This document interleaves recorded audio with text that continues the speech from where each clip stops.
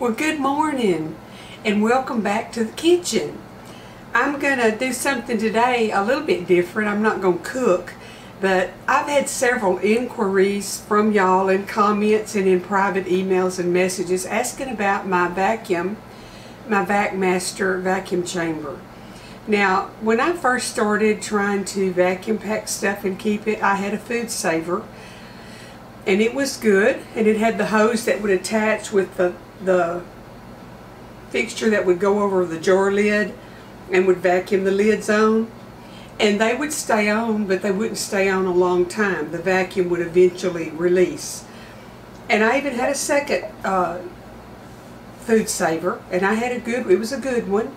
And um, after I got my freeze dryer I got to watching different people and things that they did on with vacuuming and, and putting their stuff up and a lot of people were using the VacMaster 215 hunters use it because you can vacuum seal your meat and it lasts just practically indefinitely in the in the freezer.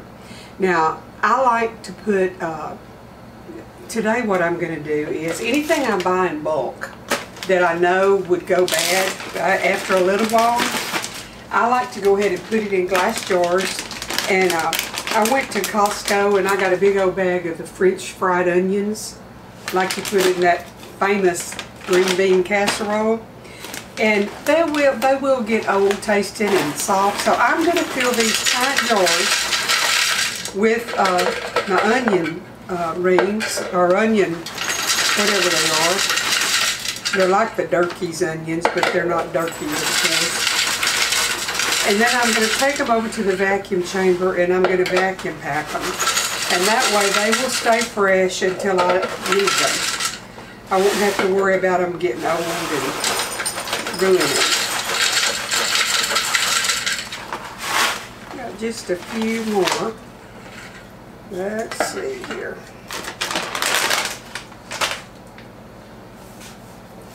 Kind of made a little mess. I'm good at that. But, you know, I know how to clean them up. I've told y'all before, I make them and clean them. There's sure not anybody else going to come along and clean up my mess for me.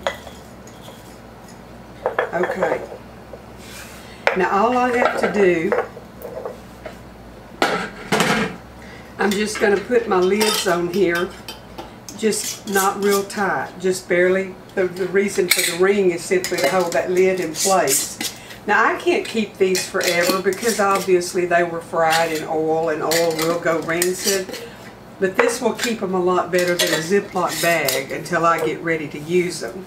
So I'm going to bring y'all over to the vacuum chamber and let you watch me uh, vacuum seal these and then you'll see how I save stuff like this for a longer period of time and keep it fresh.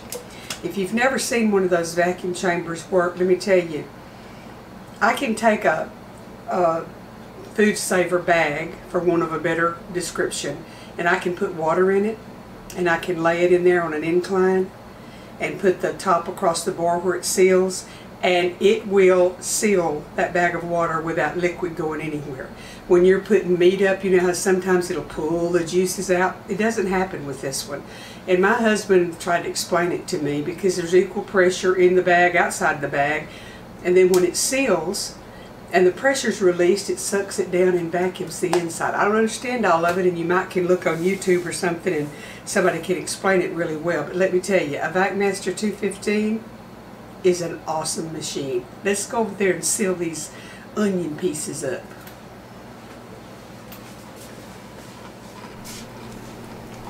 Now I can do more than one at a time because I have room in here for them. So I'm going to do these four and then I've got one more to do. Now if I were going to keep this for a long time, I would put an oxygen absorber in there, but I will use them simply because of the oil content that's in them. I'm afraid they'll go rancid, but this will keep them fresh.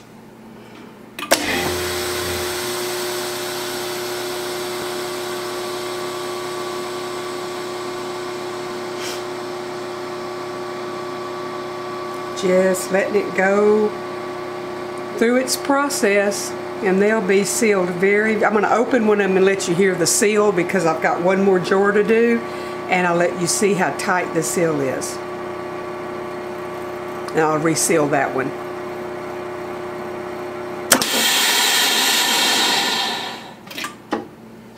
Okay, there they are, all sealed. Now let me get my opener.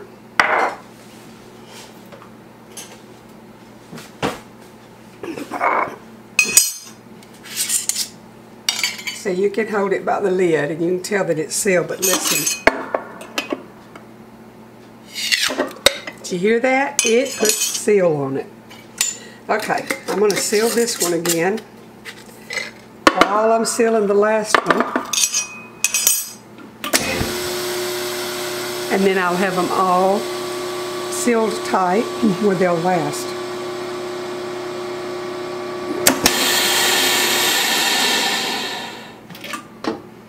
And there you have it. I've got all of my jars sealed now.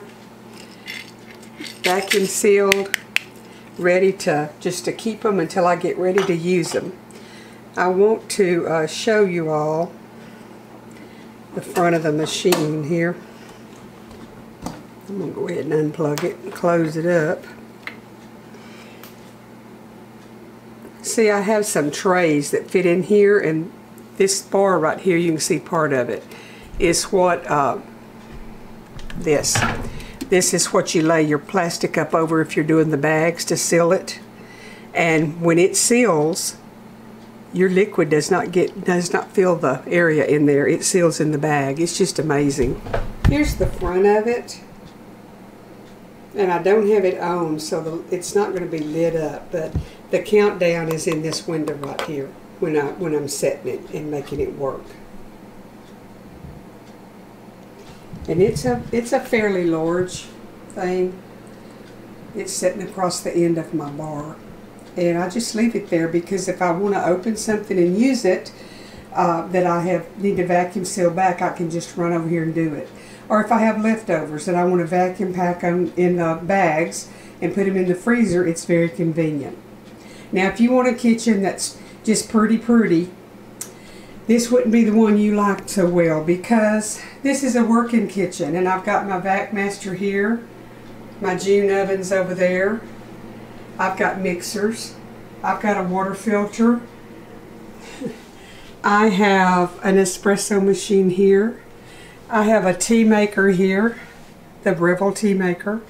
And I have a hot water kettle. And I have everything where I can use it. So this is a working I'm not kitchen. saying that I don't like things pretty pretty because I do. But, and I have a lot more um, small appliances and things that I use that I swap in and out of the space that I have. But the things that I use the most are kept in here and they're handy for me to, to, to use. That's what they're for. My kitchen is to cook in. So I hope y'all enjoyed this video and if you like to see kitchen gadgets like this or appliances or whatever you want to call it, let me know that you like things like that because let me tell y'all, I have a whole bunch that I can share and show you and tell you why I like them and what's my favorite and why it's my favorite. So um, I hope y'all have enjoyed it. I hope you come back for the next one and we'll have something else fun and I hope it's new to you. The good Lord bless y'all.